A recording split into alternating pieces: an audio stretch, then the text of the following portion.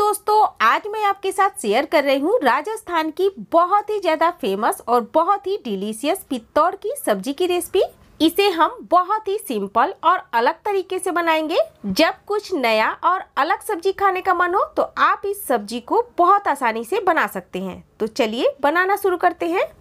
तो सबसे पहले हम इसके लिए मसाला तैयार करेंगे। तो मिक्सर जार में हम लेंगे एक चम्मच जीरा दो चम्मच हमने साबुत धनिया ली है। इसकी जगह आप धनिया पाउडर भी ले सकते हैं। आधा चम्मच हमने अजवाइन ली है। तीन से चार हरी मिर्च लेंगे। सात से आठ लहसुन की कलियाँ और एक इंच अदरक के टुकड़े।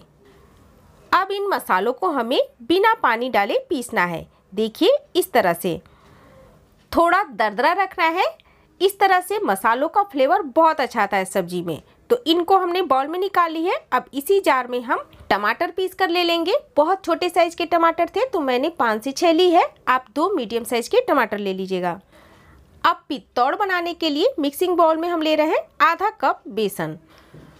और जो मसाले पीस कर हमने रखे थे ना, इसमें से हम डेढ़ चम्मच मसाला इसके अंदर डाल देंगे। एक चौथाई चम्मच हल्दी और आधा छोटा चम्मच नमक डाल देंगे। अब हमने ये एक कप पानी ली है तो पहले थोड़ा पानी डालेंगे। और इनको अच्छे से मिक्स कर लेंगे। और देखिए, पहले थोड़ा पानी डालकर फेंटने से गुठलियाँ बहुत जल्दी खत्म हो जाती हैं। अब इसमें बचा हुआ पानी डाल देंगे और एक चौथाई कप पानी हम और डालेंगे। यानी आधे कप बेसन में हमें सवा कप पानी डालना है।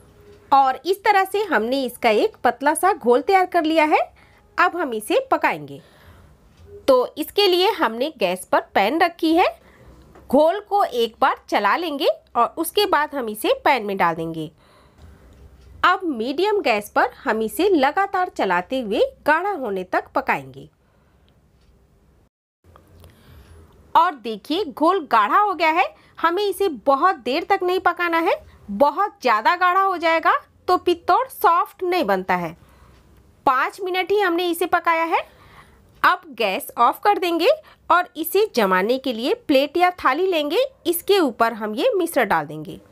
गरम गरम रहे तभी इसे डाल दीजिएगा, नहीं तो ये बहुत जल्दी जम जाता है। थाली को हमने उल्टा कर ली है और इसके ऊपर थोड़ा सा ऑयल लगा लिया है, जिससे कि ये आसानी से निकल जाए। अब पलटे से ही हम इसे एक इंच की मोटाई में फैला लेंगे। अब इसे हम ठंडा होने के लिए रख देंगे। अब ये जो घोल पैन में लगा है ना, इसमें हम थोड़ा पानी डालेंगे और इसको अच्छे से छुड़ा लेंगे। इसका इस्तेमाल हम ग्रेवी में करेंगे। इससे ग्रेवी गाढ़ी तो होगी ही, टेस्ट भी बढ़ जाएगा।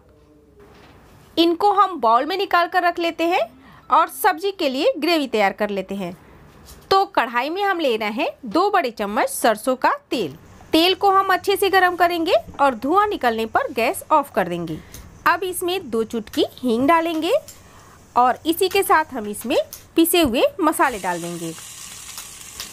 अब गैस जलाकर इनको हम हल्का भून लेंगे। एक मिनट भुनने के बाद हम इसमें टमाटर का पेस्ट डाल देंगे। अब टमाटर को भी दो से तीन मिनट तक भूनेंगे जिससे कि टमाटर का कच्चा फ्लेवर निकल जाए। दो मिनट भुनने के बाद हम इसमें डाल रहे हैं एक छोटा चम्मच काश्मीरी लाल मिर्च पाउडर। इससे कलर अच्छा आता है और आधा चम्मच हमने हल्दी पाउडर डाला है। इनको हम अच्छे से मिक्स कर लेंगे और अब इसमें ये बेसन का घोल डाल देंगे, जो हमने पैन से निकाल कर रखी थी। इसको मिलाने के बाद हम इसमें डाल रहे हैं दही। आधे कप दही में हमने आधे कप पानी डालकर फेंट ली है। दही को हम थोड़ा थोड़ा करके डालेंगे। और चलाते रहेंगे। इस तरह से दही फटेगी नहीं और एकदम स्मूथ सी ग्रेवी बनकर तैयार होगी। और इसे तब तक चलाना है जब तक कि इसमें उबाल ना आ जाए। और आप देख सकते हैं, मसालों से तेल अलग होने लगा है। इसका मतलब मसाले हमारे अच्छे से पके हुए हैं। अब हम इसमें ग्रेवी के लिए पानी डाल देंगे। जितना गाढ़ा या पतला आप ग्रेवी पसंद करते हो, उस हिसाब से पानी डालिएगा। मैंने आधा गिलास इसमें पानी डाला है। अब इसमें उबाल आने देते हैं। इधर ये अच्छे से ठंडे हो गए हैं तो अब हम इनके पीसेस कट कर लेंगे। तो आप देख सकते हैं ये कितने सॉफ्ट बने हैं। इन्हें आप ऐसे भी फ्राई करके खाएँगे ना तो ये बहुत टेस्टी लगते हैं।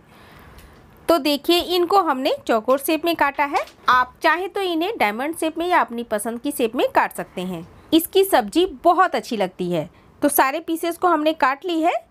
हमने गैस धीमी कर दी थी, ग्रेवी में उबाल आ गया है तो हम इसमें एक चम्मच नमक डाल दे रहे हैं, आधा चम्मच गरम मसाला पाउडर और थोड़ा सा बारीक कटा हुआ हरा धनिया। और बस अब हम इसमें ये बेसन के पित्तौर डाल देंगे। ये राजस्थान की ट्रेडिशनल सब्ज़ी है, इसे आप बाजरे की रोटी के साथ खाइए, पूरी पराठे, रोटी या चावल के साथ खाइए, ये पित्तौड़ की सब्ज़ी बहुत टेस्टी लगते हैं। इनको हमने दो से तीन मिनट तक कवर करके पका लिया है, जिससे कि पित्तौड़ में मसाले अच्छे से सेट हो जाएँ।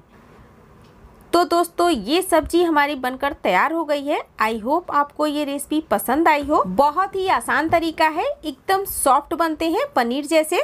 तो ज़रूर से ट्राई करिए इस सब्ज़ी को। रेसिपी ज़रा भी पसंद आए तो वीडियो को लाइक कर दीजिएगा। और चैनल पर नए हो तो रोज़ नई नई रेसिपी देखने के लिए चैनल को सब्सक्राइब करना ना भूलिएगा। फिर मिलते हैं एक नई रेसिपी के साथ। धन्यवाद।